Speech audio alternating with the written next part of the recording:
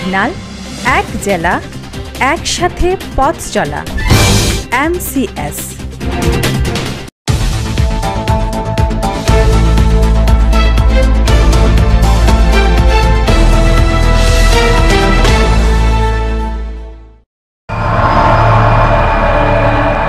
আপনারা দেখছেন এমসিএস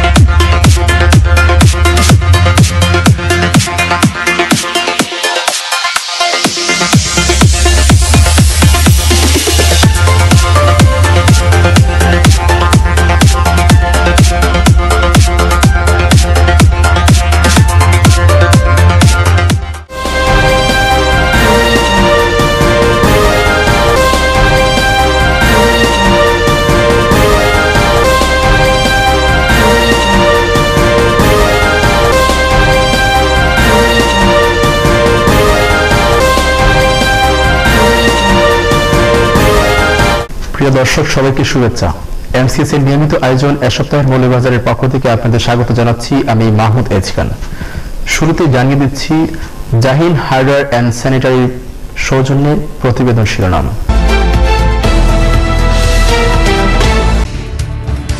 শোকাবহ আগস্টের প্রথম প্রহরে শহীদ মিনারে প্রদীপ প্রজ্বলন। দু হাজার আঠারো উনিশ অর্থ বছরের বাজেট ঘোষণা করেছে মৌলিবাজার পৌরসভা। মৌলিবাজারে কলেজ, এমপিভুক্তি করার দাবিতে মানববন্ধন ও পথসভা।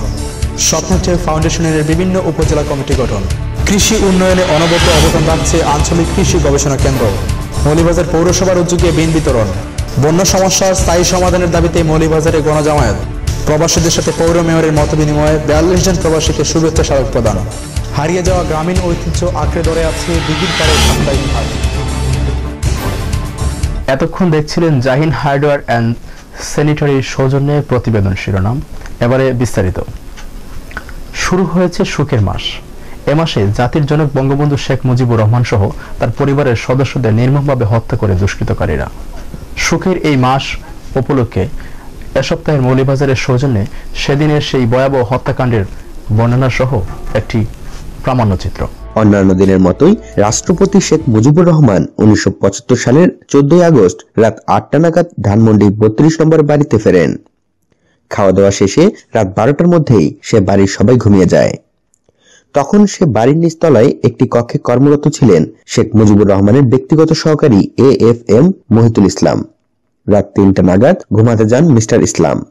এর কিছুক্ষণ পরেই সে বাড়িতে টেলিফোনের দায়িত্বে থাকা ব্যক্তি মিস্টার ইসলামকে ঘুম থেকে ডেকে তোলেন, কারণ রাষ্ট্রপতি তার সাথে কথা বলতে চেয়েছেন।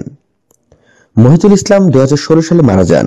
উনিশশো ছিয়ানব্বই সালে মিস্টার ইসলাম শেখ মুজিব হত্যা মামলার বাদী হয়েছিলেন। এর আগে দু হাজার দশ সালে বিবিসি বাংলার সাথে এক সাক্ষাৎকারে মিস্টার ইসলাম বলেন, বঙ্গবন্ধু আমাকে বললেন সে নিয়াবাদ সাহেবের বাসায় আক্রমণ করছে। ওই অবস্থায় আমি পুলিশকে টেলিফোনের চেষ্টা করছিলাম। তারপরে বঙ্গবন্ধু উপর থেকে নিচে নেমে এলেন, গেঞ্জি গায়ে লুঙ্গি পরা। তখন উনি আমাকে বললেন যে, আমার কাছে দে। আমার কাছ থেকে তিনি রিসিভারটা নিলেন। নিয়ে বললেন যে, হ্যালো আমি প্রেসিডেন্ট শেখ মুজিব বলছি। উনি কথা বলার সাথে সাথেই বৃষ্টির মতো গুলি আসা শুরু হলো। উনি বারান্দায় এসে দাঁড়িয়ে বললেন যে, পুলিশ সেন্ট্রি আর্মি সেন্ট্রি এত গুলি চলছে, তোমরা কি করো? আমি ওনার পিছু এসে দাঁড়ালাম। উনি কথা বলেই উপরে উঠে চলে গেলেন। এই গোলাগুলির সময় রাষ্ট্রপতি সহ তার বাড়ির কেউ ঘটনা সম্পর্কে আজ করতে পারেননি। শেখ মুজিবুর রহমানের ছেলে শেখ কামালকে যখন বাড়ির নিচতলায় গুলি করে হত্যা করা হয়, তখন ঘটনা সম্পর্কে ধারণা পাওয়া যাচ্ছিল, বলছিলেন মহিতুল ইসলাম। ধানমন্ডির সে বাড়িতে সশস্ত্র হত্যাকারীরা প্রথমে হত্যা করেন শেখ কামালকে। গোলাগুলির আওয়াজ শোনার পর ঘটনা সম্পর্কে জানতে বাড়ির নিচতলে নেমে আসেন শেখ কামাল। পাঁচ ছয়জন আর্মি, কেউ কালো পোশাকধারী, কেউ খাকি পোশাকধারী, ওনার সামনে এসে বলল, হ্যান্ডস আপ। কামাল ভাই বলছে, আমি প্রেসিডেন্ট শেখ মুজিবের ছেলে শেখ কামাল। তখনই সাথে সাথে ব্রাশ ফায়ার। গুলিতে বুক ঝাঁঝরা হয়ে মুখ থুবড়ে মাটিতে লুটিয়ে পড়লেন শেখ কামাল। শেখ কামালকে হত্যার পর হত্যাকারীরা বেপরোয়া গুলি চালিয়ে বাড়ির উপরের দিকে যাচ্ছিল। উপরে উঠেই শুরু হয় নির্বিচার হত্যাকাণ্ড। চারদিকে তখন শুধু গুলির শব্দ। উপরে তো তাণ্ডবলীলা চলছে। চারিদিকে একটা বিভৎস অবস্থা। ঠিক সে মুহূর্তে উপর থেকে চিৎকার শুরু করল যে, পাইসি পাইসি। এরপরে বঙ্গবন্ধুর একটা কণ্ঠ শুনলাম। তিনি বললেন, তোরা আমাকে কোথায় নিয়ে যেতে চাস? এরপরে ব্রাশ ফায়ার।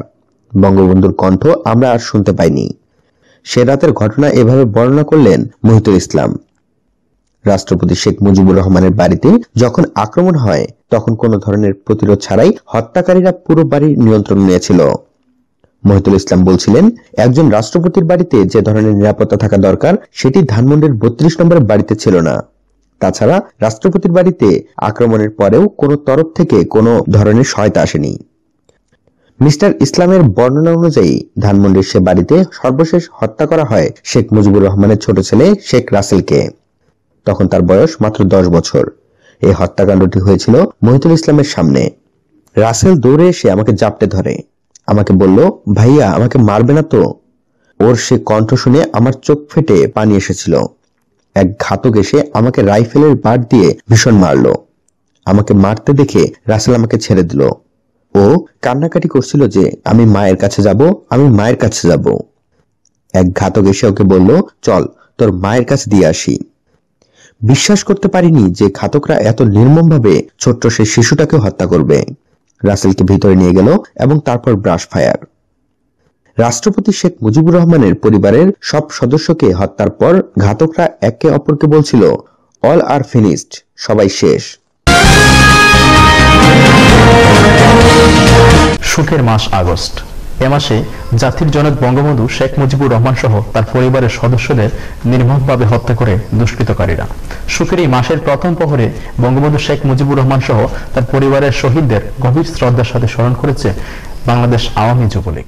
একলা আগস্ট শুকাবহ আগস্ট মাসের প্রথম প্রহরে রাত বারোটা এক মিনিটে কেন্দ্রের শহীদ মিনারে প্রদীপ প্রজ্বলন করে জাতির জনক বঙ্গবন্ধু শেখ মুজিবুর রহমানকে গভীর শ্রদ্ধার সাথে স্মরণ করেছে বাংলাদেশ আওয়ামী যুবলীগ।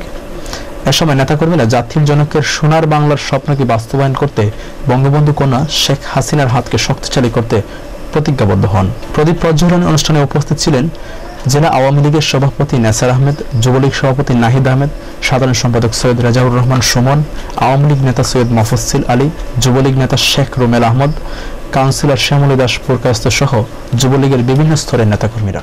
এই আগস্ট মাসে আমাদের জাতির জনক বঙ্গবন্ধু শেখ মুজিবুর রহমানকে একত্রী মহল যেভাবে হত্যা করেছিল, তার বিচার এই বাংলার মসনদে হয়েছে। জননেত্রী শেখ হাসিনা ক্ষমতায় অধিষ্ঠিত হয়েছিলেন বলেই আজকে বঙ্গবন্ধু জননেত্রী শেখ হাসিনা বিচার করেছেন। এই সুখের মাস উপলক্ষে মৌলভীবাজার জেলা আওয়ামী যুবলীগ কেন্দ্রীয় কার্য কমিটির সিদ্ধান্ত মোতাবেক আগস্টের প্রথম প্রহর ঠিক বারোটা এক মিনিটে মোমবাতি প্রজ্বলনের মাধ্যমে এই সুখের মাস আমাদের শুরু হয়ে যাচ্ছে আজকের এই উনিশশো পঁচাত্তরের পনেরোই আগস্ট যে মাসে উনাকে বঙ্গবন্ধু এবং তার পরিবারবর্গকে হত্যা করা হয়েছিল, আজকে দুই হাজার আঠারো সালের সেই আগস্ট মাস আজকে বারোটা এক মিনিটে আরম্ভ হবে। সেই সুখের মাসকে সামনে রেখে বাংলাদেশ আওয়ামী যুবলীগ সারা দেশব্যাপী মোমবাতি প্রজ্বলনের মাধ্যমে এই মাসের সূচনা করবে।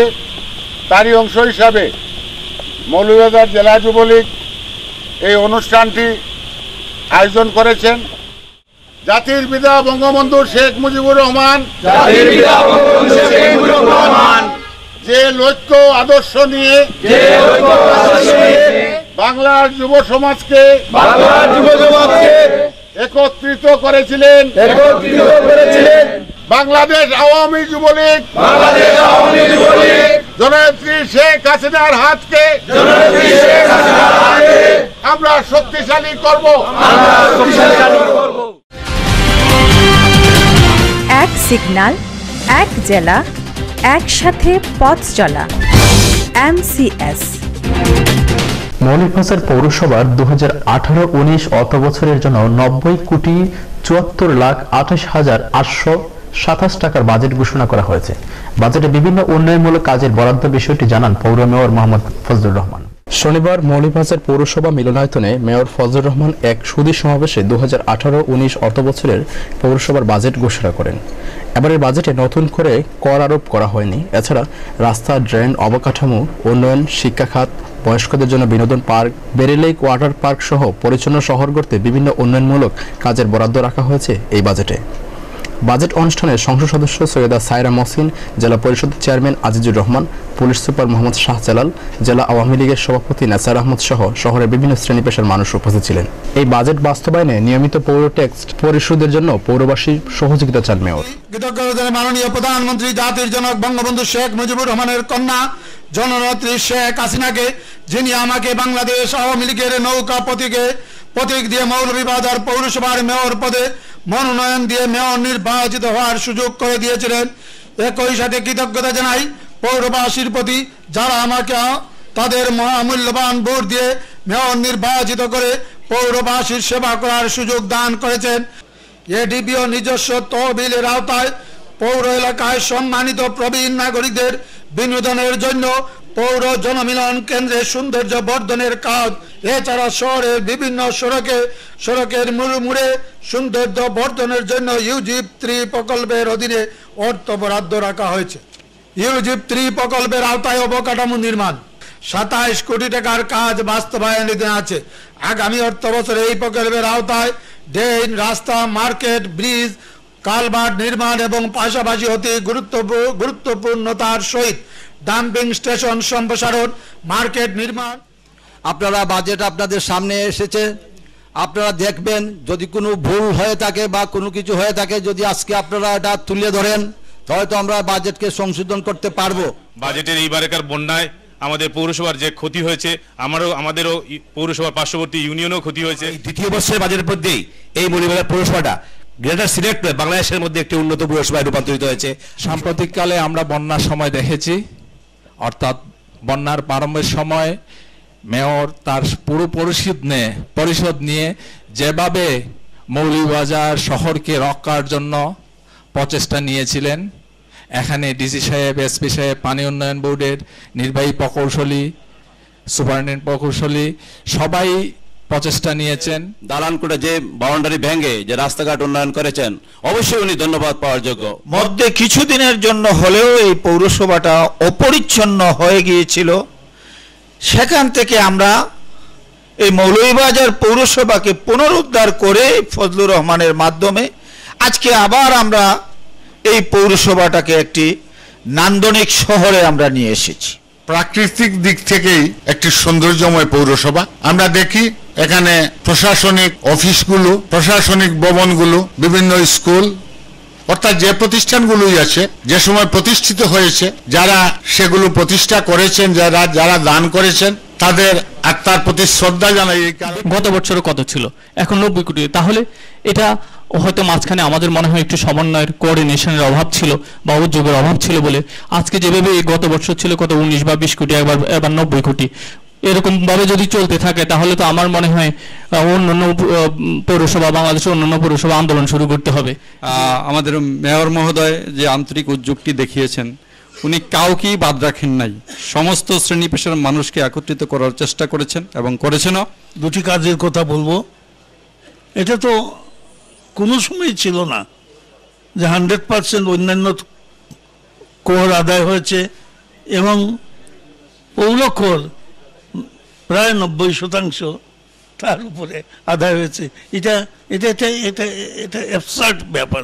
আমাদের এই পৌরসভাটাকে আমরা শ্রেষ্ঠ পৌরসভা চাই। আমরা সকা- সকলে মিলিয়ে কাজ করব, আমরা পৌর কর দিব, পৌরসভাকে যিনি মেয়র আছেন ওনাকে আমরা সহযোগিতা করব। তাহলে আমরা শ্রেষ্ঠ পৌরসভায় যেন পরিণত করতে পারি, সেটাই যেন আমাদের আজকের প্রতিজ্ঞা হয়, আজকের বাজেটের থেকে।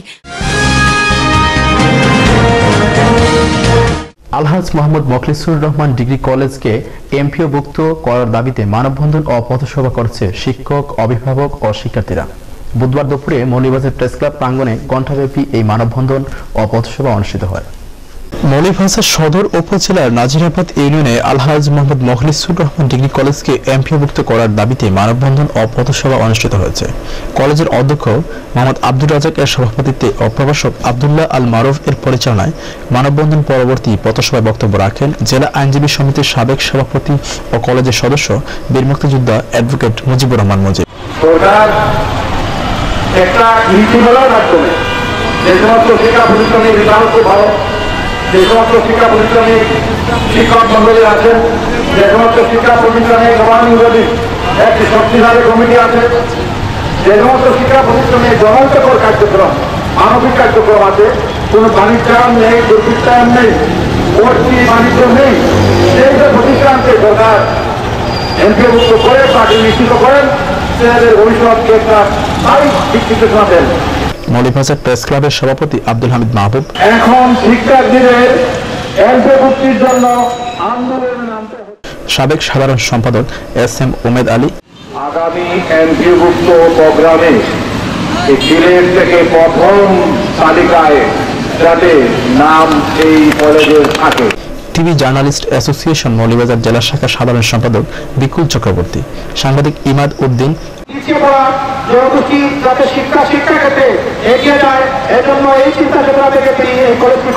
আলহাজ মোহাম্মদ মখলিসুর রহমান ডিগ্রি কলেজের প্রভাষক অর্থেন্দু বিকাশ দেয়।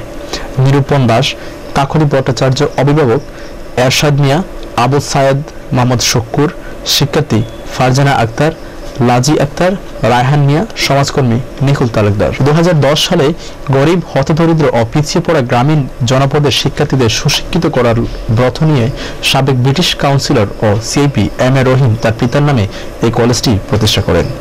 যাত্রা শুরু থেকে শিক্ষা প্রসারে কলেজটি অগ্রণী ভূমিকা পালন করে চলছে। কলেজটি প্রতিষ্ঠা লগ্ন থেকে শিক্ষক ও কর্মচারীদের বেতন সহ যাবতীয় খরচ, নিজস্ব পরিবহনের মাধ্যমে যাতায়াতের ব্যবস্থা একাই বহন করেছেন কলেজটির প্রতিষ্ঠাতা।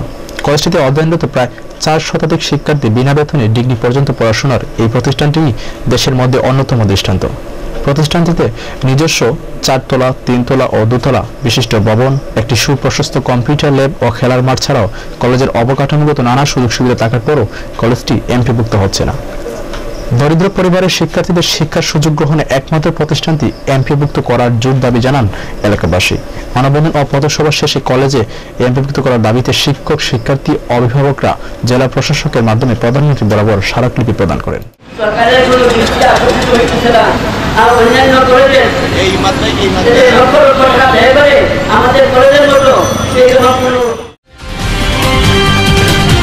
এক সিগন্যাল এক জেলা একসাথে পথ চলা। এমসিএস স্বপ্নের ঢেউ ফাউন্ডেশন অব বাংলাদেশ এর মৌলিকবাজার সদর, রাজনগর, কমলগঞ্জ, জুড়ি ও পুলাউড়া উপজেলা কমিটি গঠন করা হয়েছে। এ উপলক্ষে একটি সংবর্ধনা অনুষ্ঠানের আয়োজন করা হয়। আমাদের চোখের সামনে রক্তের অভাবে যাবে না কোনো প্রাণ। স্বেচ্ছাসেবকরা এগিয়ে এসেছে করতে রক্তদান। এই স্লোগান নিয়ে সাতাশ জুলাই শহরের অভিজাত আর এস কায়রান রেস্টুরেন্টে সংগঠনের কমিটি গঠন ও সংবর্ধনা অনুষ্ঠান অনুষ্ঠিত হয়। এতে প্রধান অতিথি হিসেবে উপস্থিত ছিলেন মৌলিবাজার সরকারি কলেজের সাবেক বিপি আব্দুল মালিক তরফদার সুয়েদ স্বপ্নাডে ফাউন্ডেশনের প্রতিষ্ঠাতা সৈয়দ শাহেদ আলীর সভাপতিত্বে অনুষ্ঠানে বিশেষ অতিথি হিসেবে উপস্থিত ছিলেন সংগঠনের উপদেষ্টা শাহিন আহমদ চৌধুরী। বিশিষ্ট নাট্যকার খালেদ চৌধুরী, সংগঠনের উপদেষ্টা Saleh Ahmed Rotaract club of Moulvibazar TCT এর সভাপতি শুয়েব আহমদ, সংগঠনটির যুক্তরাজ্য শাখার সাধারণ সম্পাদক সালেহ আহমদ সাদি, অন্যান্যদের মধ্যে উপস্থিত ছিলেন আব্দুল সামাদ আজাদ, সংগঠনের জেলা শাখার সভাপতি বুরহান উদ্দিন রূপক, সাধারণ সম্পাদক রুকসান মিয়া। পরে মৌলিবাজার সদর উপজেলা সভাপতি রোমান সাদিক ও সাধারণ সম্পাদক আকাইদ মিয়া নির্বাচিত হন। কমলগঞ্জ উপজেলায় তাহমিদ চৌধুরীকে সভাপতি ও জালাল আহমেদকে সাধারণ সম্পাদক নির্বাচিত করা হয়। কুলাউড়া উপজেলায় রিফাত চৌধুরীকে সভাপতি ও জাবের আহমদকে সাধারণ সম্পাদক নির্বাচিত করা হয়। এছাড়া জুড়ি উপজেলা কমিটিতে সালিম আহমদকে সভাপতি ও সানজিদা আক্তারকে সাধারণ সম্পাদক নির্বাচিত করা হয়। এ সময় অতিথিদের সংবর্ধনা প্রদান করে সংগঠনের নেতৃবৃন্দ।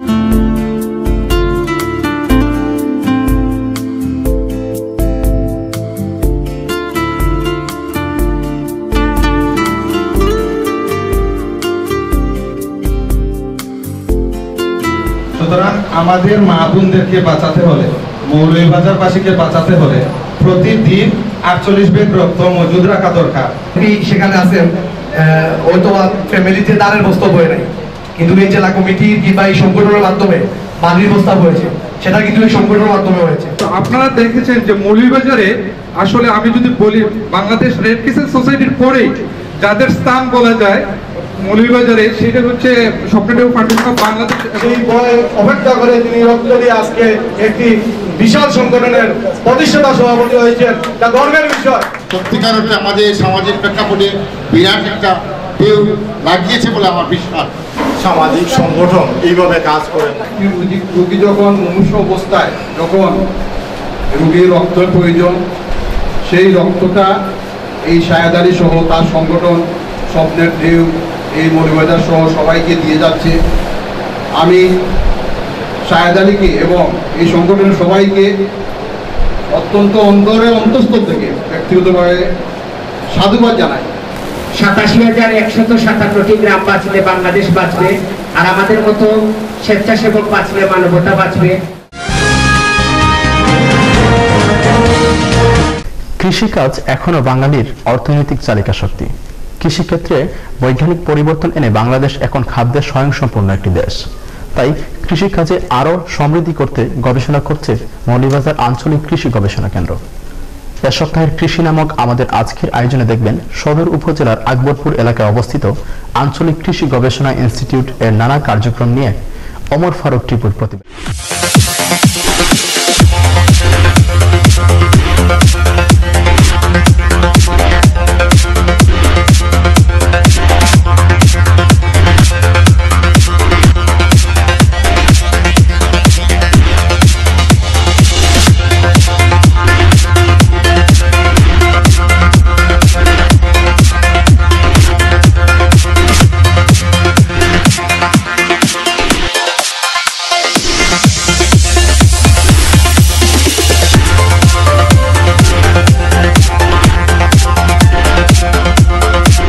মৌলভীবাজার জেলা শহর থেকে আট কিলোমিটার দূরে গিয়াসনগর ইউনিয়নের আকবরপুরে অবস্থিত আঞ্চলিক কৃষি গবেষণা কেন্দ্র মৌলভীবাজার। সুপ্রিয় দর্শক মন্ডলী স্বাগত জানাচ্ছি এ সপ্তাহের কৃষি অনুষ্ঠানে। আজ আমরা এসেছি মৌলভীবাজার জেলার আঞ্চলিক কৃষি গবেষণা কেন্দ্র, আকবরপুর গিয়াসনগর মৌলভীবাজারে। আমরা প্রথমেই এখান থেকে জানব যে কৃষি নিয়ে এখানে কি কি গবেষণা করা হয় এবং কৃষির বিভিন্ন বিভিন্ন ফল ফলাদি সম্পর্কে যে সমস্ত গবেষণা করা হয় এবং কি কি ফল এখানে উৎপন্ন হয়, সেই সমস্ত বিষয় নিয়ে আমরা জানব এবং অন্যান্য বিষয়গুলো নিয়ে আমাদের এখানকার কর্মকর্তার নিকট থেকেই আমরা বিস্তারিত জানব। আজকে আমাদের এই আঞ্চলিক গবেষণা কেন্দ্রে যারা আমাদেরকে সহযোগিতা করবেন, আমার ডান পাশে আছেন আঞ্চলিক গবেষণা কেন্দ্রের বৈজ্ঞানিক কর্মকর্তা জনাব সাদিকুর রহমান এবং আমার বাঁ পাশে আছেন বিশিষ্ট সংবাদকর্মী এমদাদুল হক। তো দর্শক মন্ডলী চলুন ঘুরে দেখা যাক আমাদের আজকের এই কৃষি গবেষণা কেন্দ্রের বাকি অন্যান্য বিষয়গুলো। আপনারা দেখছেন কৃষি বিষয়ক অনুষ্ঠান এই সপ্তাহের কৃষি। উনিশশো বিরাশি সালে পূর্বাঞ্চল তথা বৃহত্তর সিলেটের কৃষি গবেষণা ও উন্নয়নের জন্য প্রতিষ্ঠিত হয় এই আঞ্চলিক কেন্দ্রটি। নৈসর্গিক ও দৃষ্টিনন্দন পরিবেশে একশো তিন একর জমির উপর এই কেন্দ্রটি অবস্থিত। আঞ্চলিক কৃষি গবেষণা কেন্দ্র মৌলভীবাজারে ঢোকার পরপরই চোখে পড়বে দৃষ্টিনন্দন ফুল আর ফলের বাগান।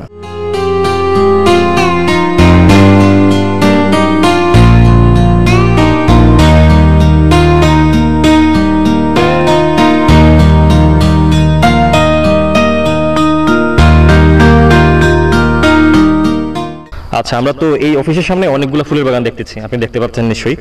তো এই যে ফুলের বাগানগুলো এখানে মানে আপনাদের কাজ কি? মূলত আপনি কি করেন এই বাগানে? আমি এখানে প্রথমত গাছগুলা সারিবদ্ধভাবে লাগাইছি ফুলের গাছ। আচ্ছা বিভিন্ন ধরনের ফুলের গাছ। আচ্ছা। সারিবদ্ধভাবে লাগাই এগুলার যত্ন করছি সার গোবর বিষ স্প্রে যে সময় যা লাগছে তা এটার উপরে প্রয়োগ করছি।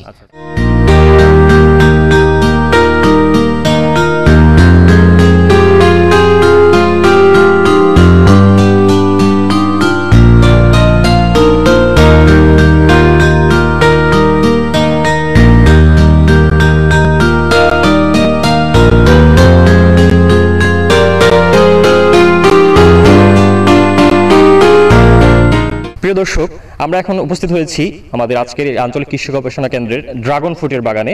তো আমার পাশে উপস্থিত আছেন আজকের এই এখানকার বৈজ্ঞানিক কর্মকর্তা সাদিকুর রহমান সাহেব। তো ওনার কাছ থেকে আমরা জানব যে ড্রাগন ফ্রুটের কি কি আমাদের জন্য উপকার আসবে এবং এটা মানে কীভাবে উৎপন্ন করা যায় এবং এটা সংক্ষেপে আমাদেরকে জানাবেন উনি। আচ্ছা ধন্যবাদ। ড্রাগন ফ্রুটসের হচ্ছে কাটিং থেকেই গাছগুলা হয়। আর হচ্ছে এই আপনারা ফল দেখতে পাচ্ছেন। প্রচুর বেয়ারিং হয়। এই তিনটা কালারের হয়। আপনার ইয়েলো পিঙ্ক আর অ্যাশ আমাদের এখানে একটা পিঙ্ক কালার খুবই নিউট্রিশিয়াস একটা ফ্রুট এটা। আর এখানে যে যে পিলার দেখতেছেন পিলার দেওয়ার কারণ হচ্ছে ওই গাছটা বেয়ে বেয়ে ওঠার সুবিধার জন্য। আর উপরে টায়ার দিয়ে দেয় আমরা জেনারেলি পাঁচ ফিট উপরে দেই। তারপরে এটা এই পাশে ঝুলে পড়বে। এবং ঝুলা অংশটার মধ্যেই বেশি ফ্রুটস পেয়ারিং হয়। আর হচ্ছে আরেকটা জিনিস হচ্ছে যে দেখতেছেন মাঝখানে পিলারগুলোর মাঝখানে অনেকটুকু জায়গা আছে। ওইখানে আমরা যে সাথী ফসল বলে মিক্সড ক্রপিং হলে জায়গাটার ইউটিলাইজেশনের জন্য আমরা এখানে নাগামরিচে লাগাই দিছি। ছোট টাইপের যে গাছগুলো হয় ওই গাছগুলো এখানে লাগাই দেওয়া যায়। তাহলে হচ্ছে যখন কেউ কমার্শিয়ালি এই আপনার চাষাবাদে যাবে ড্রাগন ফ্রুটসের মাঝখানের জায়গাটাও সে ইউটিলাইজ করতে পারবে পুরোপুরি।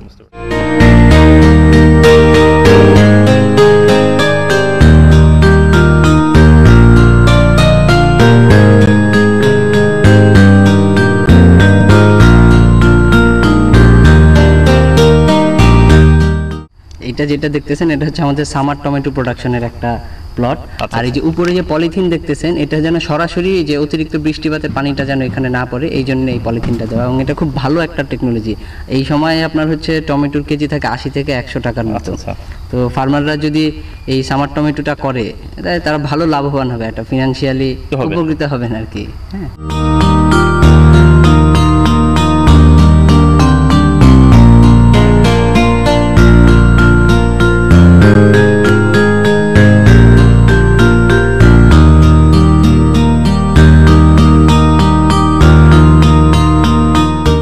দর্শক মণ্ডলী আমরা ইতিমধ্যে দেখতে পাচ্ছি যে আমাদের আকবরপুরের যে প্রাকৃতিক সৌন্দর্য, এটা বলা যায় যে এক- একরকম প্রাকৃতিক সৌন্দর্যের লীলাভূমি। আপনারা দেখতে পাচ্ছেন নিশ্চয়ই আমার পিছনে এত সুন্দর একটি ভিউ মনেই হয় না যে আমরা মৌলবাজারের কোনো একটা জায়গায় এখানে আছি। মনে হচ্ছে যে আমরা হয়তোবা খুবই বান্দরবান কিংবা আরও কোনো সৌন্দর্যের প্রাকৃতিক লীলাভূমিতে আমরা এখানে আছি।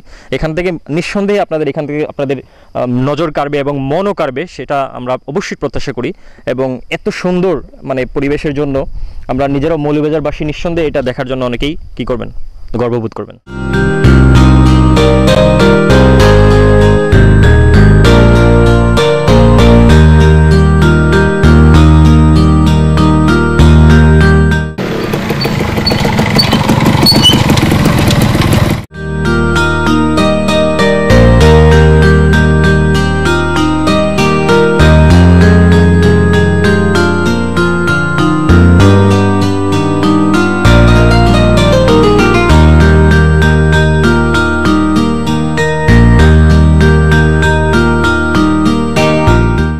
আপনারা দেখছেন কৃষি বিষয়ক অনুষ্ঠান এই সপ্তাহের কৃষি। সুপ্রিয় দর্শক মণ্ডলী আমরা এখন দাঁড়িয়ে আছি আঞ্চলিক কৃষি গবেষণা কেন্দ্রের একটি নার্সারিতে। আমার সাথে উপস্থিত আছেন এখানকার বৈজ্ঞানিক কর্মকর্তা উদ্যান তত্ত্বের মিলন সাহা।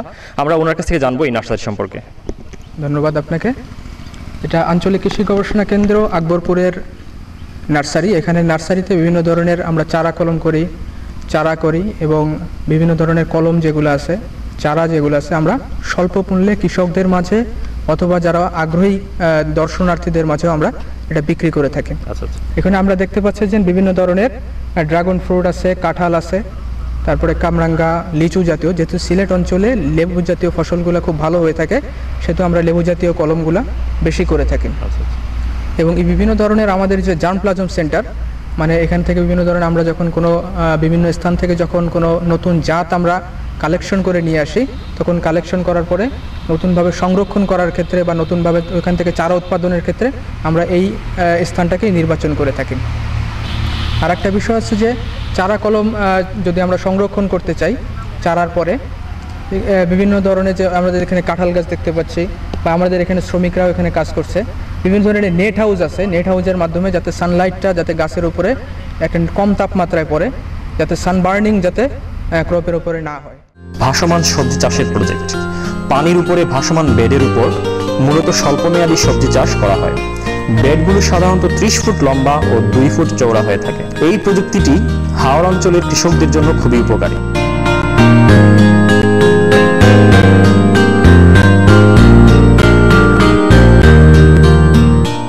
গবেষণা কেন্দ্রে কয়েকটি কফি গাছও দেখা যায়। মূলত এগুলো পরীক্ষামূলকভাবে চাষাবাদ করা হচ্ছে বীজ সংগ্রহের জন্য।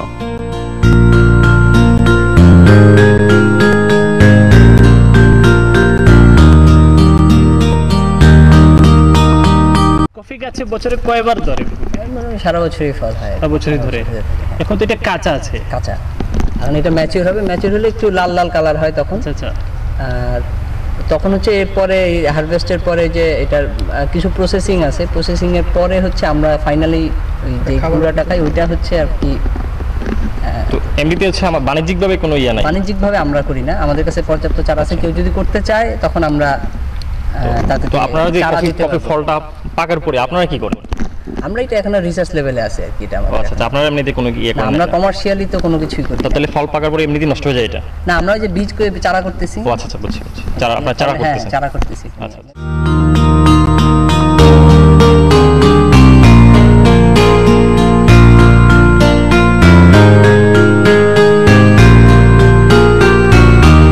সুপ্রিয় দর্শক মন্ডলী আপনারা দেখতে পাচ্ছেন, আমরা এখন এসেছি আঞ্চলিক কৃষি- গবেষণা কেন্দ্রের মাতৃবাগান নামক একটি জা- জারালেবুর বাগানে। এখানে আমরা দেখতে পাচ্ছেন, আমার পিছনে অনেক বড় একটি বাগান। এখানে জারালেবুর বৈশিষ্ট্য হচ্ছে, এটা সিলেট অঞ্চলের অন্যতম একটি খুবই মানে ভালো একটি মানের লেবু, যেটা সারা দেশেই সমাদৃত।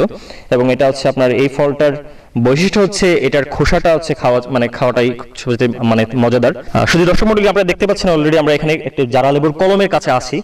এবং আপনারা মানে দেখে যতটুকু না অনুপ্রাণিত হচ্ছেন, আমরা এখান থেকে থেকে আরও বেশি অনুপ্রাণিত হচ্ছি। কারণ অলরেডি এই তো বড় বড় লেবুর যে ঘ্রাণগুলো অলরেডি আমাদের নাকের মধ্যে এসে নাড়াচাড়া করতেছে এবং অলরেডি মানে মনে হচ্ছে যে এখনই পেরে খাই। তো প্রিয় দর্শক মন্ডলী এবং আপনাদের জানেন যে জারা লেবুগুলো সারা বাংলাদেশে তো সমাবেত আছেই। বিশেষ করে আমাদের সিলেট অঞ্চলের লোকরা যারা প্রবাসে থাকেন, বিশেষ করে লন্ডন, আমেরিকা, কানাডাতে এখানে থাকেন, ওনাদের কাছ থেকে কাছেও এই জারা লেবুর চাহিদা হচ্ছে খুবই বেশি। কারণ এর খোসাটা হচ্ছে খুবই মজাদার যে গোস্তের তরকারির সাথে এটা খেতে খুবই মানে সুস্বাদু হয়।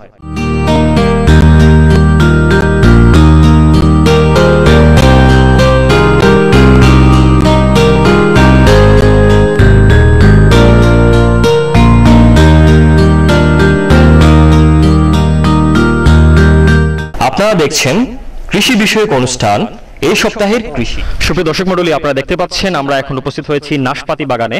আঞ্চলিক কৃষি গবেষণা কেন্দ্রের এই নাশপাতি বাগানটি মূলত পরীক্ষামূলকভাবে এখানে মূলত চাষ করা হচ্ছে। মূলত আসলে নাশপাতি আমাদের দেশের ফল না, এটা মূলত ঠান্ডা প্রধান দেশের ফল।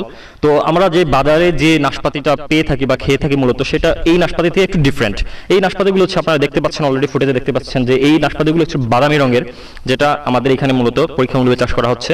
তো দর্শক মন্ডলী তো আমরা দেখলাম নাশপাতি সম্পর্কে মোটামুটি শুনলাম।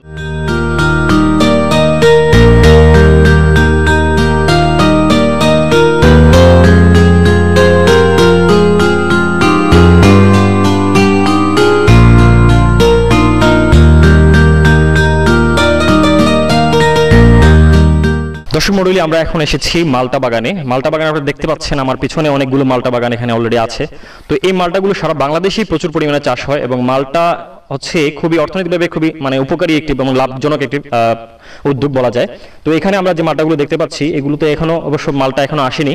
তো দর্শক মন্ডলী, আমরা আমাদের এই মূলত এই- এখানকার মালটার যে বৈশিষ্ট্য যেটা হচ্ছে, এই মালটাগুলো বাজারে যে আমরা মালটা মূলত পেয়ে থাকি, সেই মালটার পিছনের দিকে পয়সার আকৃতির মতো একটি যে আকৃতি থাকে, সেই মালটাগুলি মূলত হচ্ছে বাড়ি, একের এই মালটাগুলো। তো দর্শক মন্ডলী এই মালটাগুলো হচ্ছে আমাদের এখান থেকে মূলত এই আঞ্চলিক কৃষি গবেষণা কেন্দ্র থেকে অনেকেই প্রশিক্ষণ নিয়ে মানে মালটা চাষ করে অনেক লাভবান হচ্ছে। আপনারাও চাইলে এখান থেকে এসে, এখানে এসে আপনারা প্রশিক্ষণ নিয়ে এবং নিজেরাও মানে মালটা চাষ করতে পারবেন এবং অর্থনৈতিক অর্থ- অর্থনৈতিকভাবে লাভবান হতে পারবেন।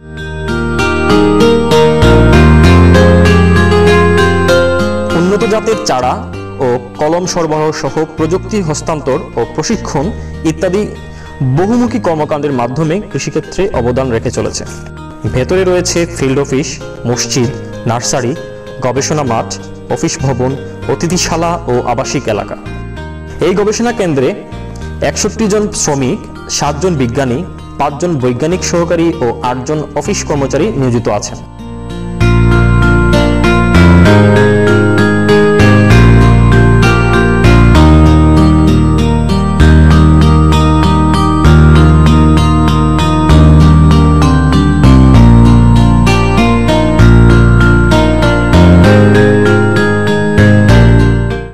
দর্শক মন্ডলী আপনারা দেখতে পাচ্ছেন আমরা এখন এসেছি, আমাদের পিছনে আছে মূলত জাম্বুরা বাগান।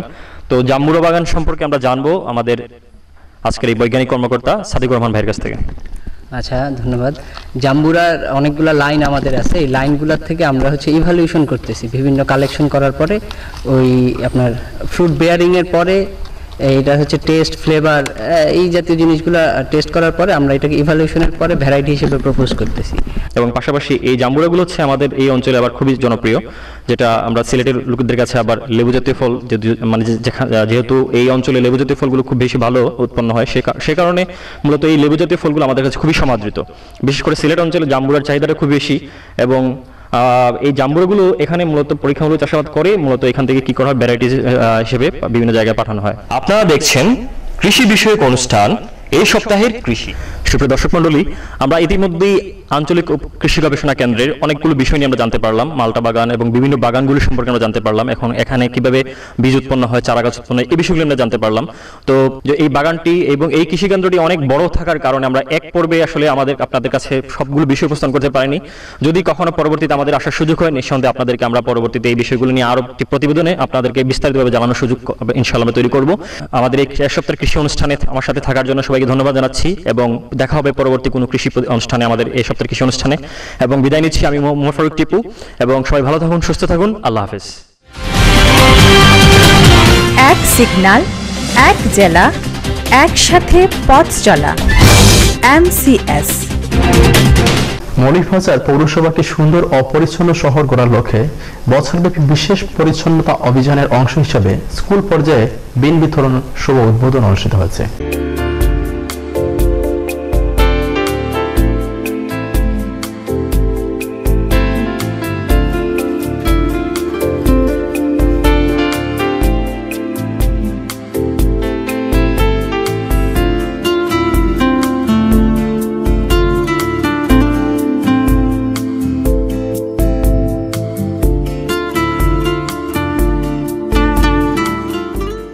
গত ছাব্বিশ জুলাই বৃহস্পতিবার দুপুর বারোটায় মলিফাসের পৌরসভার আয়োজনে the Flowers KG high school হলরুমে এর উদ্বোধন অনুষ্ঠিত হয়। প্রদীপ নাহার পরিচালনায় ও পৌর মেয়র মোহাম্মদ ফজলুর রহমানের সভাপতিত্বে বিতরণ অনুষ্ঠানের উদ্বোধন করেন মৌলিকবাজার জেলা আওয়ামী লীগের সভাপতি নেসার আহমদ। এ সময় উপস্থিত ছিলেন পৌর নির্বাহী প্রকৌশলী আবুল হোসেন খান সহ পৌর কাউন্সিলর ও কর্মকর্তাবৃন্দ। তিনি তার পৌর পরিষদকে নিয়ে এক স্বপ্ন দেখেছেন। সেই স্বপ্নটা হলো মৌলভীবাজার পৌরসভাকে একটা পরিচ্ছন্ন সুন্দর নান্দনিক পৌরসভা হিসেবে গড়ে তোলা।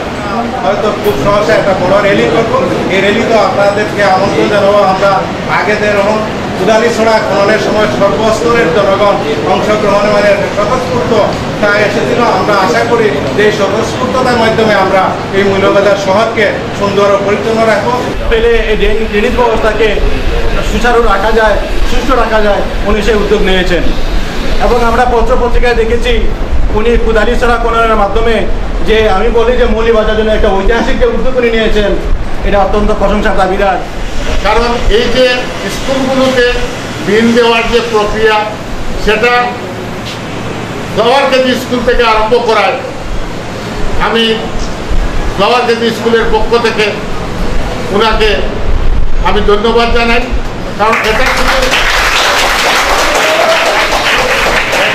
এখন যেটা উদ্বোধন হচ্ছে, সেটা শুধু এই স্কুলের জন্য নয়। এটা হলো যে সিরিজ তারা করবেন, প্রত্যেকটি স্কুলে দেবেন সেটারই উদ্বোধন, সবার, সবটির উদ্বোধন এখান থেকে। কিন্তু দিন কার্যক্রমে নেসার আহমদকে যে উদ্বোধন করানো আমার একটাই লক্ষ্য। সেই চিন্তা থেকে আমরা পৌরসভা বসে আমরা ঠিক করেছি। চিন্তাটা যে সব দিন দ্বারা শহর পরিষ্কার হবে, স্কুল পরিষ্কার হবে, বাড়িঘর পরিষ্কার হবে। আমাদের কুমলমতি বাচ্চারা, আমাদের সন্তানরা দিন ব্যবহার শিখবে বলে এদের কোনো শিক্ষা প্রতিষ্ঠানের দিন নেই। শিখবে, তারা মানুষকে উদ্বুদ্ধ করবে যে তোমরা দিনে ময়লা পেল, ভাই, অন্য বা রাস্তায় ময়লা পেল।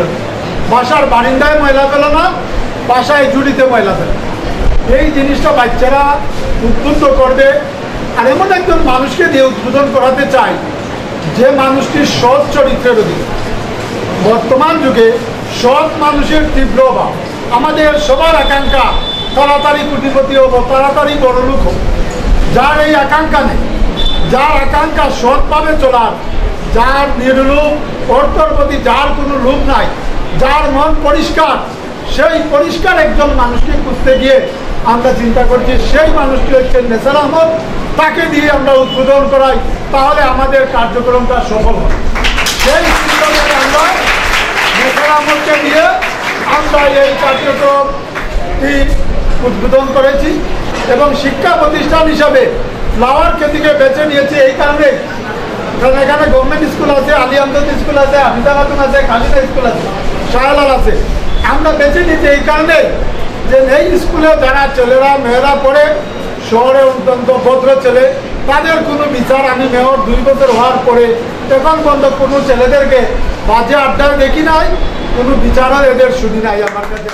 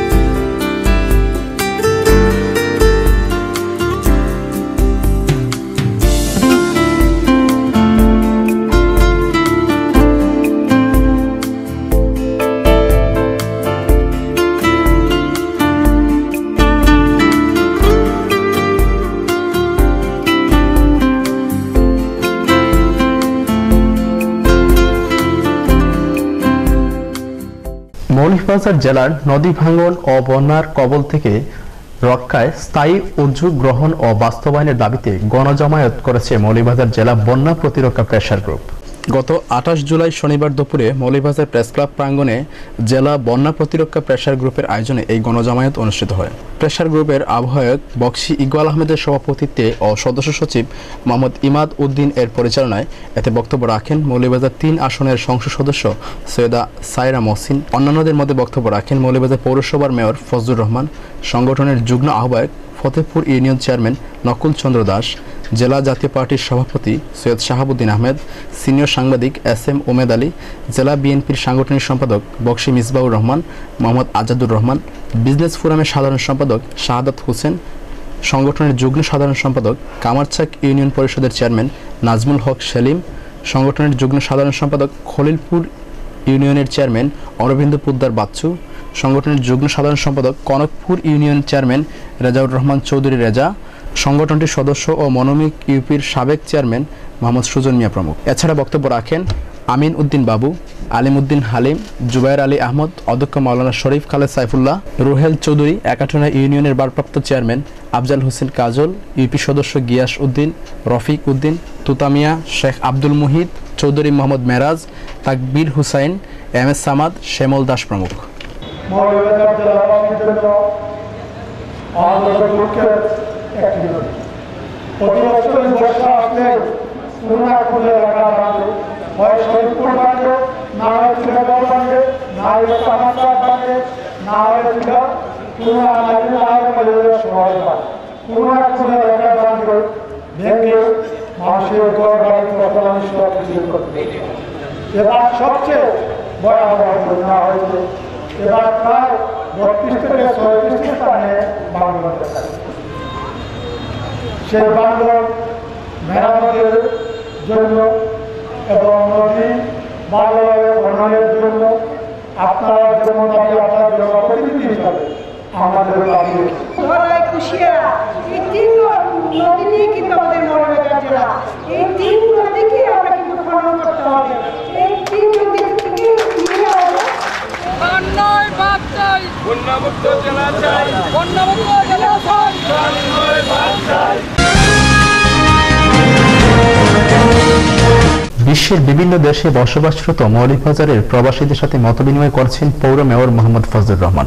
এ সময় বিয়াল্লিশ জন প্রবাসীকে শুভেচ্ছা স্মারক প্রদান করেন mayor Fazlur Rahman. Europe, America মধ্যপ্রাচ্য সহ বিশ্বের বিভিন্ন দেশে বসবাসরত মৌলিকবাজারের প্রবাসীদের সাথে মতবিনিময় করেছেন পৌর মেয়র মোহাম্মদ ফজলুর রহমান। গত একত্রিশে জুলাই মঙ্গলবার পৌরসভার মেয়র সম্মেলন কক্ষে ফজলুর রহমানের সভাপতিতে মতবিনিময়ে অংশ নেন প্রবাসীরা। পৌর মেয়র ফজলুর রহমানের সভাপতিতে এতে বক্তব্য রাখেন সুশাসনের জন্য নাগরিক সুজনের মৌলিবাজার জেলা সভাপতি ডাক্তার সাদিক আহমদ মৌলিবাজার জেলা সাংবাদিক সমিতির সভাপতি ও প্রেস ক্লাবের সহসভাপতি সৈয়দ হুমায়দ আলী শাহিন মৌলিবাজার প্রেস ক্লাবের সাবেক সাধারণ সম্পাদক এস এম ওমেদ আলী, পৌর কাউন্সিলর ফয়সাল আহমেদ, মসুদ আহমেদ, আলহাজ আয়াস আহমেদ আসাদ হোসেন মক্কু নাহিদ আহমদ, আনিসুজ্জামান বায়াস জেলা যুবলীগের সাধারণ সম্পাদক সৈয়দ রাজাউর রহমান সুমন, সাংবাদিক হাসানাত কামাল, ইমাদ উদ্দিন, স্বেচ্ছাসেবক লীগের সাবেক সাধারণ সম্পাদক এমদাদুর রহমান রেনু যুবলীগ নেতা ফয়েজ আহমদ সহ প্রমুখ। এ সময় পৌর মেয়র প্রবাসীদের দেশে বিনিয়োগের আহ্বান করেন। পৌরসভা সহ দেশের সার্বিক উন্নয়নে প্রবাসীদের নানা অবদানের কথা স্মরণ করে অভিনন্দন ও কৃতজ্ঞতা প্রকাশ করেন মেয়র। ভবিষ্যতে তাদের এ ধারা অব্যাহত রাখার অনুরোধ করেন মেয়র।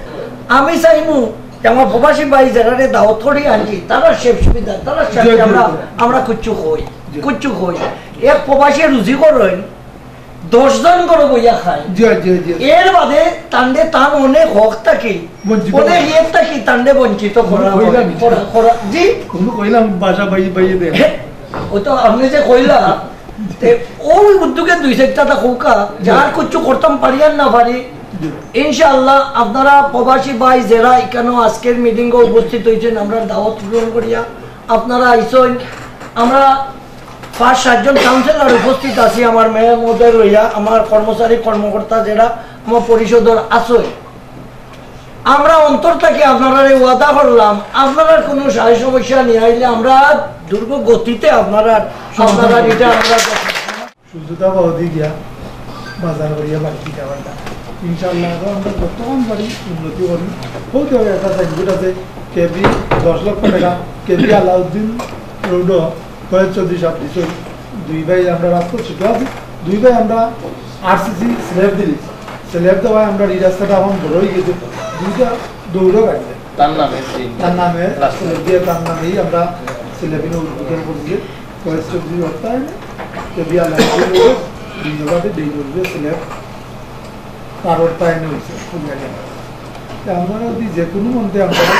এতে প্রবাসী ব্যক্তিবর্গ পৌর মেয়রকে কৃতজ্ঞতা জানান।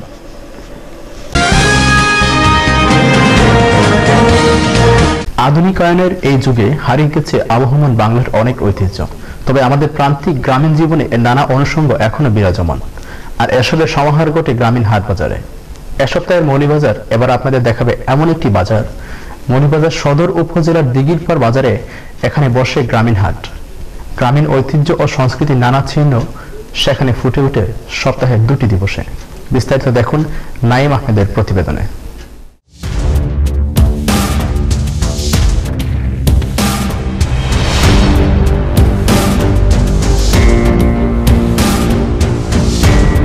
আসসালামু আলাইকুম, আমি আহমেদ নাইম। এ সপ্তাহের বাজারে আপনার সবাইকে স্বাগতম। আমাদের নতুন আয়োজন, এ সপ্তাহের বাজার।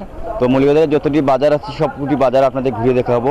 তার পরিপ্রেক্ষিতে আমরা আজকে এসেছি মৌলিকবাজারের সনিকটে মৌলিকবাজারে অবস্থিত দীক্ষিতার বাজার। চলুন ঘুরে দেখি দীক্ষিতার বাজার।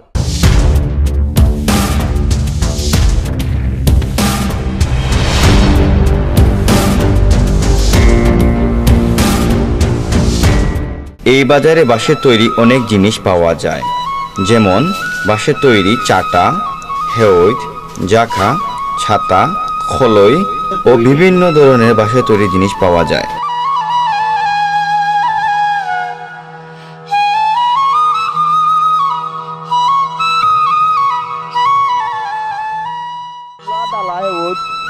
ছাতা, টুকরি, চা সবর আমাদের আছে বর্তমানে বালি চলে কোনটির দাম কেমন?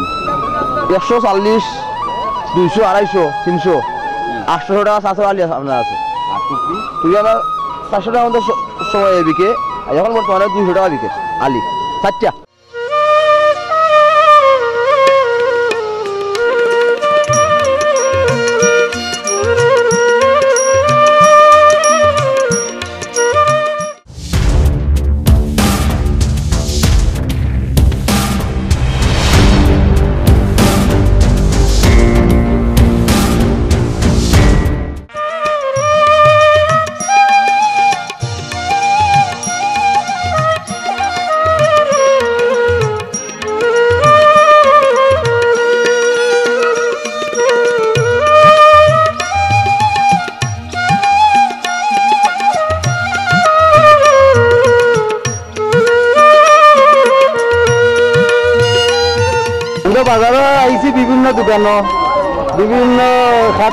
দেখছি বড়, ছোট বিভিন্ন রেটও আছে খাটলত বড়টা বড় দাম, ছোটটা ছোট দাম। আড়াইশো, তিনশো, দুইশো, দেড়শো করে বিকেট একশো টাকাও বিকেট একশো বিশ টাকাও বিকেট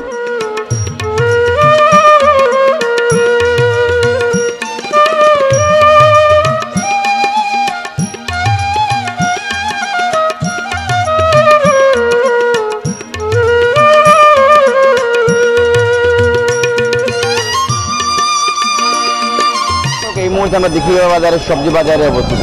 তো চলুন আপনাদের এই বাজারটা ঘুরিয়ে দেখাই। আর এখানে দর্শক প্রচুর টাটকা শাকসবজি পাওয়া যায় মানে ফরমালি মুক্ত। আমরা এই বাজারটি আমাদের শহরে অতি নিকটে হওয়ার কারণে শহর থেকে এবং অনেক গ্রামের লোক এখানে আসেন এবং টাটকা শাকসবজি কিনে নেন চলুন ঘুরে দেখে আপনাদের বাজার।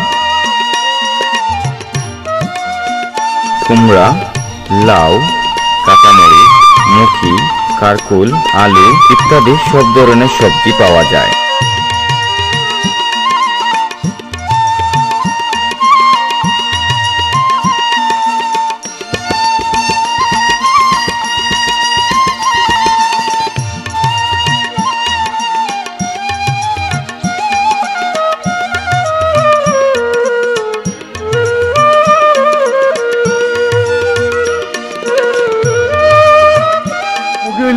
তিরিশ টাকা।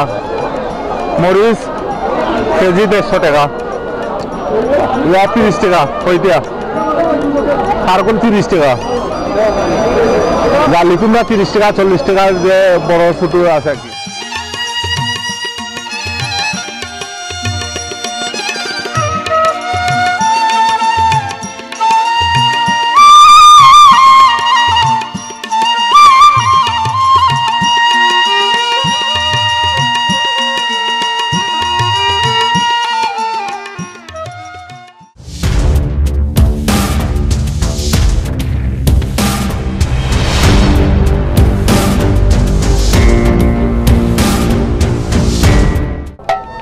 এই বাজারে পঞ্চাশ বছর ধরে বাদ্যযন্ত্র তৈরি করে আসছেন ইনি।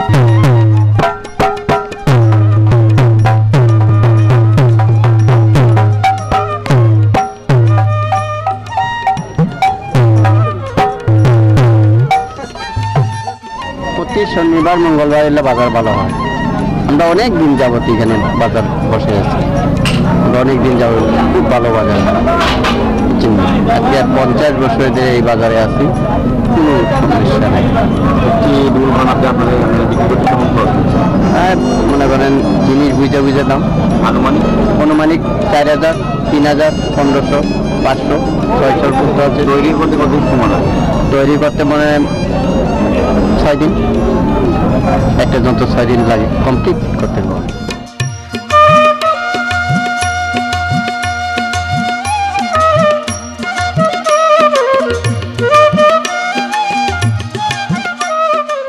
দর্শক, এই মুহূর্তে আমরা বাজার মাছের বাজারে আছি। আমাদের এই বাজারের নিকটবর্তী অনেক হাওড় আছে। স্থানীয় হাওড় থেকে এখানে প্রচুর মাছ ওঠে। আর এই মাছ নেওয়ার জন্য এলাকার মানুষ শহর থেকে পর্যন্ত এখানে লোক আসে এই মাছ নেওয়ার জন্য। এখানে অবশ্যই খুবই টাটকা সুস্বাদু মাছ পাওয়া যায়। চলুন আমরা এই মাছের বাজারটি ঘুরে দেখি।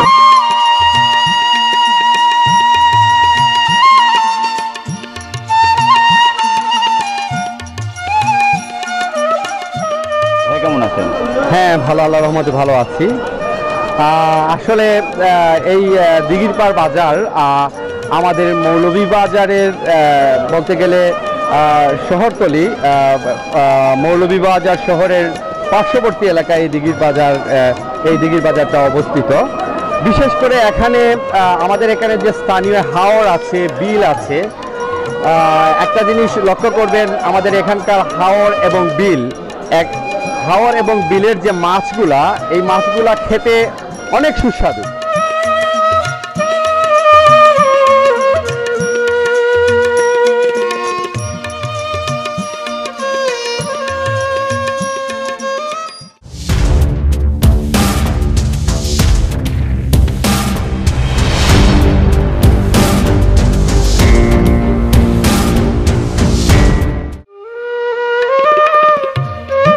এখানে অনেক দেশি জাতের হাঁস মুরগি কবুতর ক্রয় বিক্রয় করা হয়।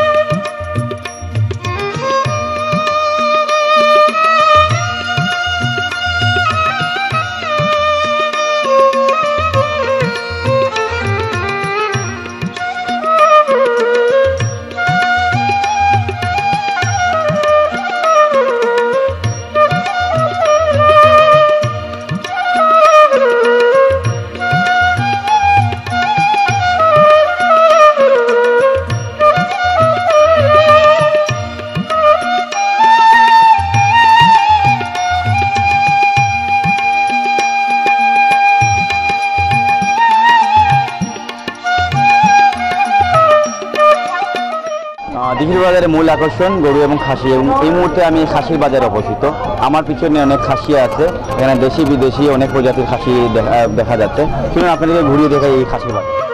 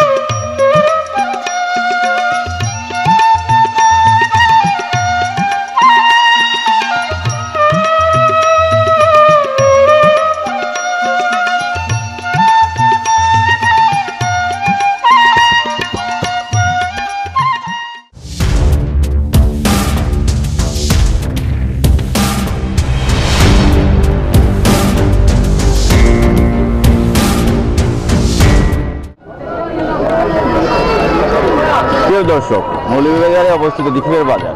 আর এই দিঘিবের বাজারে সবচেয়ে মূল আকর্ষণ হচ্ছে গরু।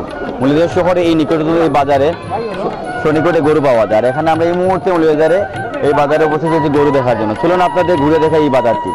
এবং আমার পিছনে অনেক গরু দেখা যাচ্ছে দেশি বিদেশি। এবং মৌলভীবাজার শহরের যারা আছে সবাই এই বাজারেই আসেন। তো চলুন আমরা আপনাদের এই বাজারটি ঘুরে দেখাই।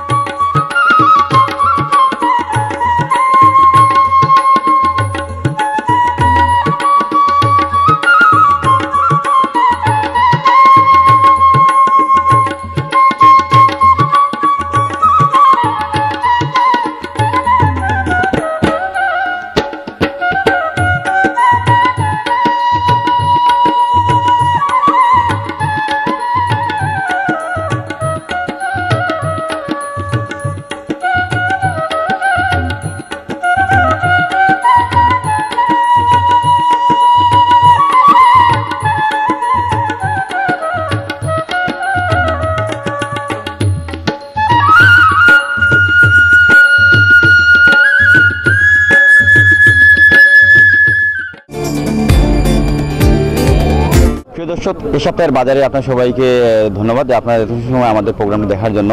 তো এই সপ্তাহের বাজারে আমরা এবার এসেছিলাম মৌলবাজারের দিখিবার বাজারে। তো আপনাদের সারা বাজারই দেখিয়ে এলাম। তো আগামী সপ্তাহে অবশ্যই আপনাদের কোনো না কোনো ভালো বাজার এবং বাজার সম্পর্কে আপনাদের জানাব। ধন্যবাদ সবাইকে। আমি আহমেদ নাইম এক সিগনাল, এক জেলা, একসাথে পথ চলা। এমসিএস এক সিগনাল, এক জেলা একসাথে পথ চলা। এমসিএস শুধু দর্শক, আপনারা দেখছেন এ সপ্তাহের মৌলিবাজার। যাওয়ার আগে জানিয়ে দিতে চাই, মৌলিবাজার থেকে প্রকাশিত বিভিন্ন অনলাইন দৈনিক ও সাপ্তাহিক পত্রিকার প্রধান কিছু শিরোনাম।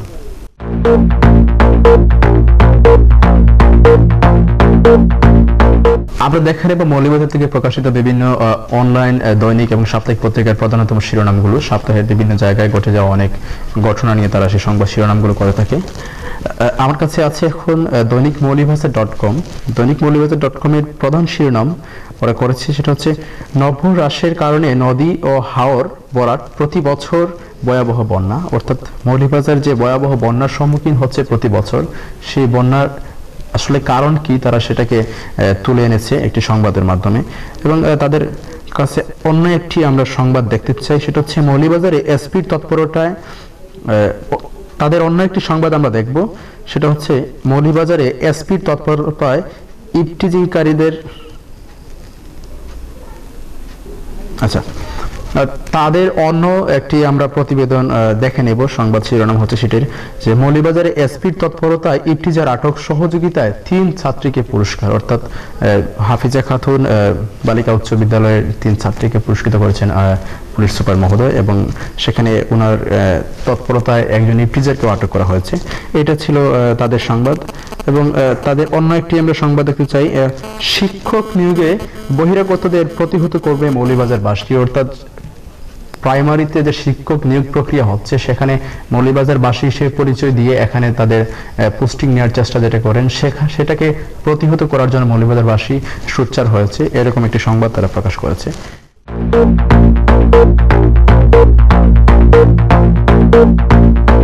এছাড়া আমরা দেখে নেব আহ, মৌলভীবাজার থেকে প্রকাশিত অন্যতম অনলাইন সংবাদ মাধ্যম Moulvibazar twenty four dot com. Moulvibazar twenty four dot কমের প্রধান শিরোনাম হচ্ছে তারা একটি শিরোনাম করেছে ডিগ্রি কলেজ এমপিভুক্ত করার দাবিতে মৌলিবাজারের মানববন্ধন। অর্থাৎ সেটা হচ্ছে আলহাজ মখলিসুর রহমান ডিগ্রি কলেজকে এমপিভুক্ত করার জন্য সেখানকার শিক্ষার্থী অভিভাবক এবং শিক্ষকরা মানববন্ধন করেছেন। তাদের অন্য একটি আমরা শিরোনাম দেখতে চাই সেটা হচ্ছে আহ,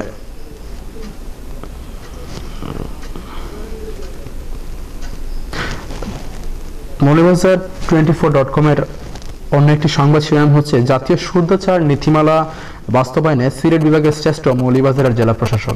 আমাদের জেলা প্রশাসক মহোদয় মোহাম্মদ তুফাইল ইসলাম শুদ্ধাচার নীতিমালা বাস্তবায়নে তিনি সিলেট বিভাগের মধ্যে শ্রেষ্ঠ জেলা প্রশাসক হয়েছেন। এটি আমাদের জন্য একটি সুসংবাদ। এটাকে তারা অন্যতম প্রধান শিরোনাম করে রেখেছে Moulvibazar twenty four dot com এছাড়া তারা একটি শিরোনাম করেছে আহ, মৌলভীবাজারে জুতা পায়ে শহীদ মিনারে আওয়ামী লীগ নেতা। এটা হচ্ছে বঙ্গবন্ধু শেখ মুজিবুর রহমানকে যে এই মাসে হত্যা করে করা হয়েছিল সেই শোকের মাসের প্রথম প্রহরে যুবলীগ একটি প্রদীপ প্রজ্বলনের আয়োজন করেছিল কেন্দ্রীয় শহীদ মিনার। সেখানে আওয়ামী লীগ নেতা জনাব মফসিল আলী জুতা পায়ে সবাই যেখানে জুতা ছাড়া ছিলেন শহীদ মিনারে সেখানে তিনি জুতা পরেই সেখানে গিয়েছিলেন এবং সেটাকে Moulvibazar twenty four dot com শিরোনাম করেছে এবং সেখানে তার, ওনার ছবি সহ একটি সংবাদ তারা প্রকাশ করেছে।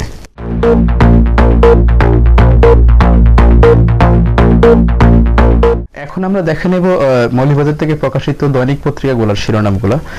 একত্রিশ জুলাই মঙ্গলবার প্রকাশিত দৈনিক বাংলার দিন পত্রিকার প্রধান শিরোনাম ছিল সিলেট সিটিতে আরিফুল হকের জয় নিশ্চিত।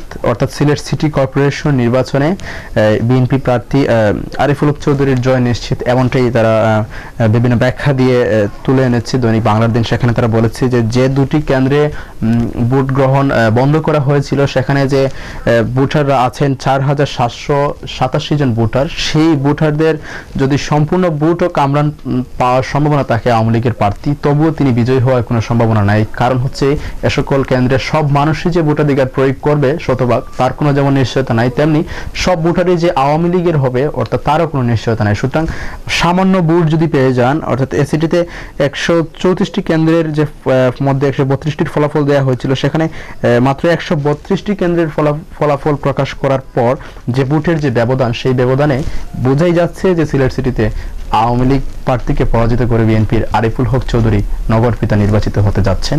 এটিকে তারা প্রধান শিরোনাম করেছে। আমরা তাদের অন্য একটি শিরোনাম দিব। সেটা হচ্ছে, বাস চাপায় দুই শিক্ষার্থী নিহত পরিবারকে পাঁচ লাখ টাকা করে আর্থিক অনুদান দেওয়ার ঘোষণা দিয়েছে হাইকোর্ট তারা এটি করেছে এবং তারা অপর শিরোনাম করেছে আমরা বাংলার দিনের অপর একটি শিরোনাম দেখতে চাই। সেটা হচ্ছে, কমলগঞ্জে দশ দিন ধরে মাদ্রাসা ছাত্র নিখোঁজ অর্থাৎ কমলগঞ্জের ইজাদুল ইসলাম নামের একজন মাদ্রাসা ছাত্র দশ দিন থেকে নিখোঁজ রয়েছেন। আমরা তার সন্ধান চাওয়ার কে কেন্দ্র করে ওনারা একটা নিউজ করেছেন। আমরা অবশ্যই এই মাদ্রাসা ছাত্রের সন্ধান চাইব।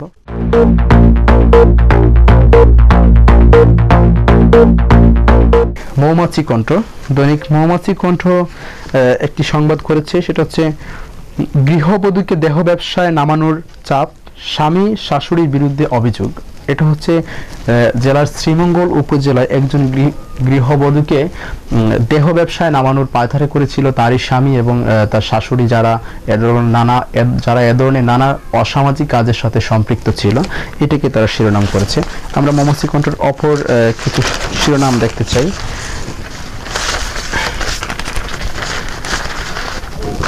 দৈনিক মৌমাছি কণ্ঠর আহ, আরেকটি শিরোনাম হচ্ছে বন্ধু বান্ধবীদের নিয়ে ফুর্তি, আমোদে বাধা, বড়লেখায় মাকে মারধরের অভিযোগে স্বাস্থ্য সহকারী জেলে। অর্থাৎ বন্ধু বান্ধব নিয়ে হই হুল্লুর বা ফুর্তি আমোদ করছিলেন বড়লেখা উপজেলার একজন স্বাস্থ্য সহকারী, সরকারি কর্মকর্তা।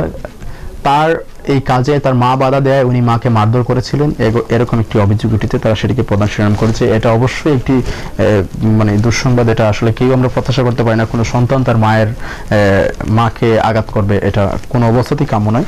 এ ছিল আমার কাছে দৈনিক মৌমাছি কণ্ঠর প্রধানতম কিছু শিরোনাম আমি পড়ে শোনালাম।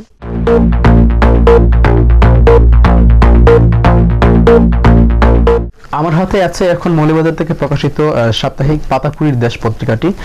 পাতাকুড়ির দেশ তাদের প্রধান শিরোনাম করেছে সেটা হচ্ছে, নতুন কর আরোপ ছাড়াই মৌলবাজার পৌরসভার নব্বই কোটি টাকার বাজেট ঘোষণা। অর্থাৎ নতুন করে কোনো কর আরোপ করা হয়নি মৌলবাজার পৌরসভার নাগরিকদের জন্য। সেখানে এরকম কর আরোপ ছাড়াই কিন্তু নব্বই কোটি টাকার একটি বিশাল বাজেট ঘোষণা করেছেন পৌর মেয়র ফজলুর রহমান এবং সেখানে নানা উন্নয়ন প্রকল্পের জন্য বরাদ্দ রাখা হয়েছে সেই বাজেটে। এটিকে তারা প্রধান শিরোনাম করেছে। এবং আমরা তাদের অন্য শিরোনামগুলো দেখতে চাই। সেখানে হচ্ছে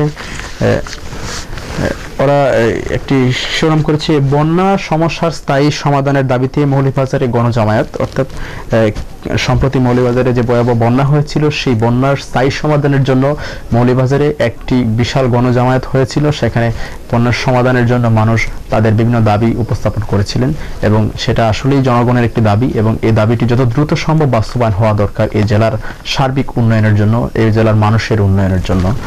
তাদের আরেকটি শিরোনাম অপর একটি শিরোনাম দেখব আমরা। মৌলিবাজার সরকারি কলেজের ছাত্র ইউনিয়নের সম্মেলন, অর্থাৎ ছাত্র ইউনিয়ন সরকারি কলেজ শাখার সম্মেলন অনুষ্ঠিত হয়েছে এবং সেখানে তারা তাদের কাঙ্ক্ষিত প্রার্থীকে মনোনীত করে একটি কমিটি ঘোষণা করেছে মৌলিবাজার সরকারি কলেজ ছাত্র ইউনিয়ন। এই ছিল আমার কাছে পাতাপুরি দেশ পত্রিকাটির প্রধান শিরোনামগুলো। দর্শক, এ ছিল আমাদের এ সপ্তাহের আয়োজন।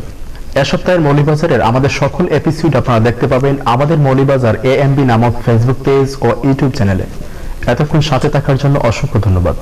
সবাই ভালো থাকুন, সুস্থ থাকুন। এই প্রত্যাশা জানিয়ে বিদায় নিচ্ছি আমি মাহমুদ এজ খান। আগামী সপ্তাহে আবারও দেখা হবে।